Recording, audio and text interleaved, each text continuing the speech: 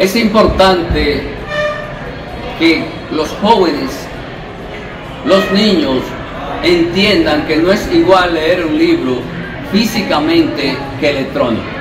Hasta el olor y el tacto en las páginas, en el lomo, en la portada y contraportada de un libro, se nota la diferencia. Creo que en el libro físico se activa más el pensamiento, funciona más la imaginación, funciona más la subjetividad, la reflexión, el raciocinio, y se hace un contacto más directo, más fructífero, un diálogo con el autor. Todo eso da por resultado que el pensamiento del lector se sustancia